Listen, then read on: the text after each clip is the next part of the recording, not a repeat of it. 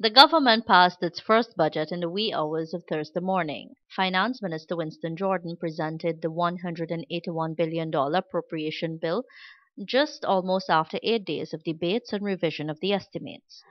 The government presented its $221 billion budget on August 10th, where it announced an increase in old age pension, removal of value added tax on several food items, and monies for the Guyana Sugar Company. The National Assembly dedicated long hours to the revision of estimates that included several new ministries.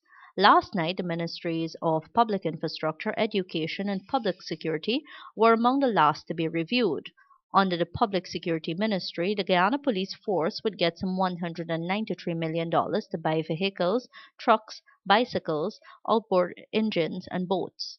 It requires a number of land and water transport vehicles for purposes of enhancing response time and also having a deterring effect where the crimes are mapped as very dense. Public Security Minister Khemraj Ramjattan on Wednesday night when the estimates for that ministry were reviewed.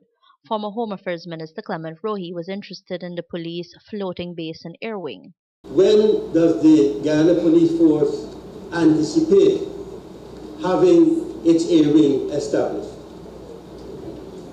The air wing, Mr. Chairman, will not be established this year, definitely not with that.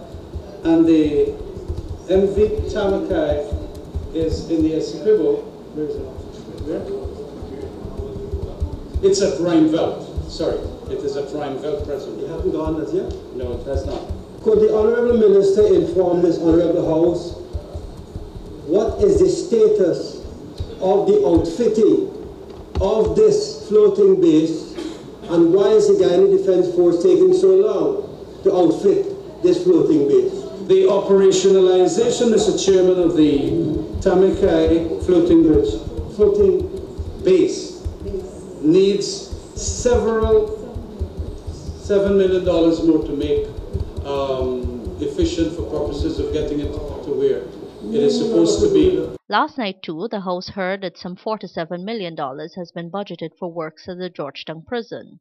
Could the Honourable Minister inform this House whether additional CCTV cameras are being procured to ensure that all prison locations are covered?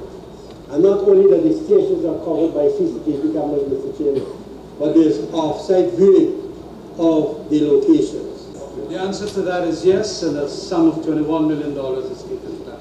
All locations we're talking about. Among the allocations reviewed are $45 million that would give the Guyana Fire Service four more water tenders and $10 million for the Citizen Security Program. For Prime News, Nazima Ragabir.